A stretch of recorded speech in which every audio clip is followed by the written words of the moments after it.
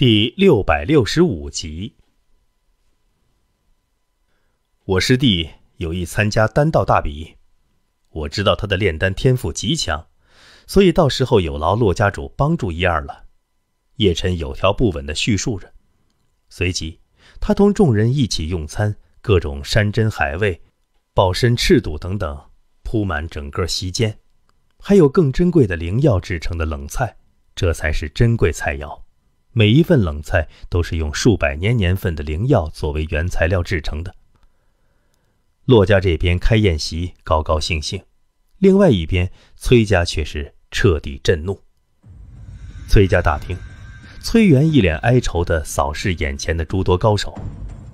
这一次，崔家损失太大了，表面力量现在崔家已经比不上骆家了。家主。有长老已经从闭关之中出来了。一位道元境三层天的护法上前来说道：“现在真的已经到了要唤醒诸多长老的程度了吗？”对，崔元长叹一声，心中言道：“家族强者损失近半，不得不唤醒那几位了。这些长老都是投靠血灵族后幸免于难的帝尊境强者。”要知道，就是当初崔家少主被叶辰斩杀，面对灵一丹尊的强势，崔家也随随便便不敢动用这个力量。但是现在，崔家出了这么大的事情，若再不唤醒，必然是灭顶之灾。将他们唤醒，一定能扭转局面。崔家通过皇家，也朝着血灵秘境中的六个血灵族人投诚。原本按照名额分配，他们每年得交出去两名帝尊境的强者，供给血灵族人屠杀，也是导致他们家族中帝尊境强者很少的情况。但是投靠血灵族后，就可以每间隔三百年有一次豁免机会，能保存那百年培养出来的两名帝尊境强者不被击杀。崔家建立了九百年。在第三百的时候投靠了血灵族，所以保存下来了四位帝尊境的强者，且每一位帝尊境强者都达到了四层天的程度。如此修为，在各大家族中或许不算什么，但是在丹虚镇已经算是一等一的强者。为了避免被外界人知道崔家投靠血灵族，尤其是那些丹尊，所以。很多年前的崔家家族便让四位帝尊境强者以闭关之名隐藏在家族之中，在有危难的时候出手。崔元长叹一声，当初自己儿子被杀，他都没有动过要这些隐藏帝尊境长老出手的想法，现如今不得不让他们出手了。家主，不好了！一位护法急急忙忙地冲了进来。崔元眸子一凝，冷声道：“什么事？”那护法赶忙跪下：“家主，骆家已经开始对我们的产业出手。”崔元猛地一拍桌子，怒道：“骆无涯，你以为有叶世天给你撑腰，你就可以无法无天吗？”他沉寂下来，又道：“叶世天，我要你死无全尸！”就在崔元震怒之时。一股无可匹敌的气息在整个屋子震动，那四位崔家闭关的顶级强者问世了。崔元背后的一面墙壁更是直接破开，狂暴的气浪从里面冲了出来，滚滚尘土之中，四道身影若隐若现。你就是现任的家主，你叫什么名字？一行四人从门外走来。个个身上都流转着古之道韵，斑驳的脸颊看不出是多少岁了。一身黑袍耸立，看着犹如九幽之中杀出来的幽灵，令不少道元境强者毛骨悚然。四个老者，一个背剑，一个持枪，两个身后悬浮着一尊大鼎，气息恐怖，犹如魔王一般。他们便是崔家数百年来。积累下来的四位帝尊境强者，都是帝尊境四层天，实力恐怖。参见各位长老，我是现任家主崔元。四位长老，如今我崔家危在旦夕，丹虚镇来了一个年轻的强者，名为叶世天，数拳便打爆了一位崔家顶级强者。不光如此，我崔家的半数力量都被毁去，所以请四位长老出手，一定要击毙这个杂碎。其中一位鹰钩鼻长老负剑上前，是四人的头领，名为崔命。他便问道：“具体事情你细细说来与我们听。”是长老。崔元哪敢说不，一五一十的将今日之事说了出来。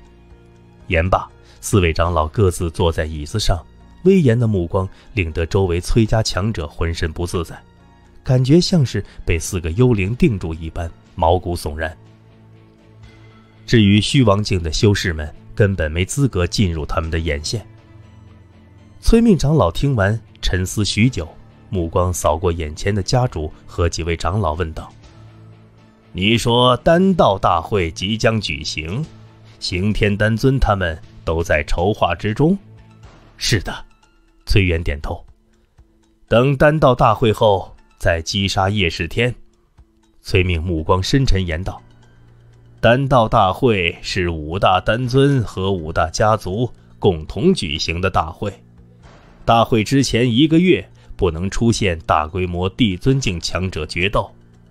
若是我们现在一起杀入洛家，那灵一丹尊和其余几位必然出手，到时候要么演变成五位丹尊的对战，要么就是刑天丹尊出手。这些年来，刑天丹尊应该卡在帝尊境前期，但人脉极为广阔，我们不能得罪他。只有等丹道大会结束，行动告知诸位丹尊后，再行出手，灭杀叶世天和他的四个手下。崔命不愧是老化石级别的强者了，对于各大势力和各位丹尊了解得清清楚楚。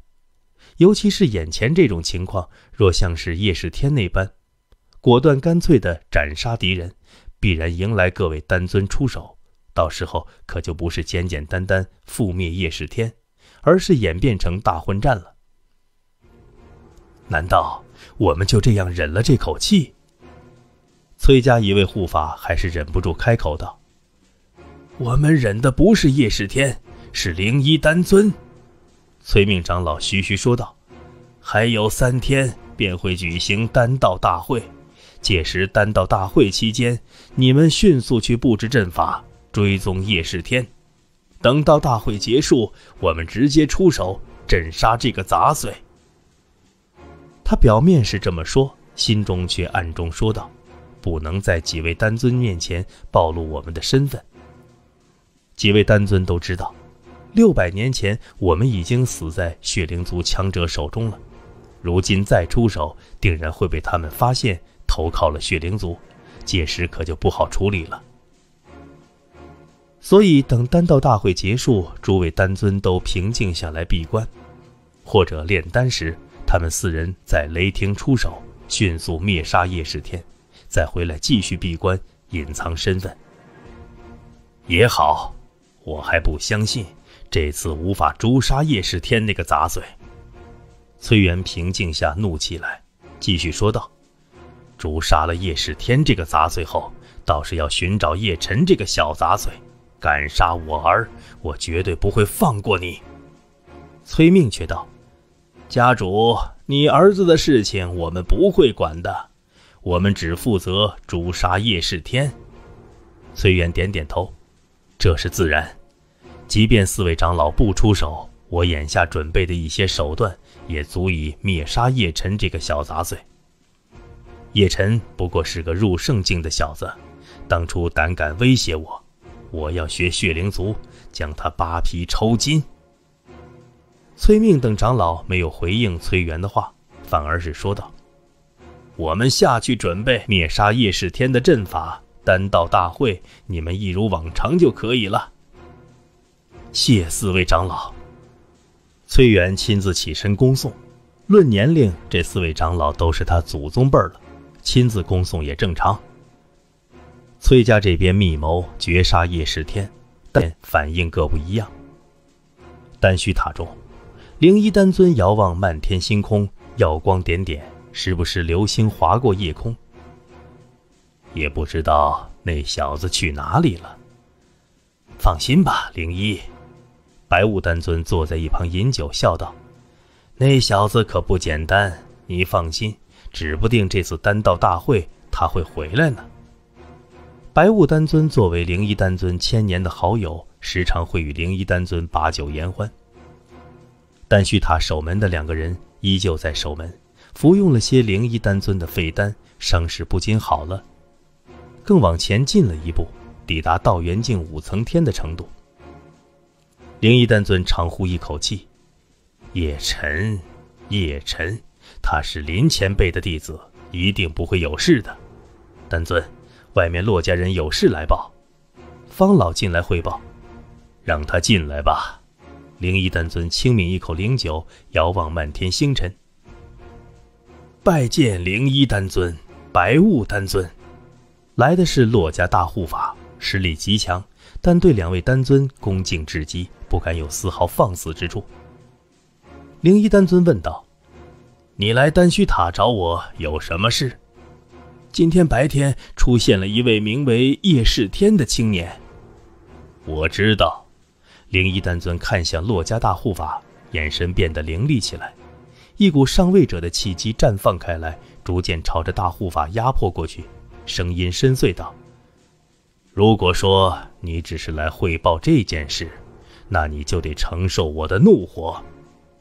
丹尊岂是想见就能见的？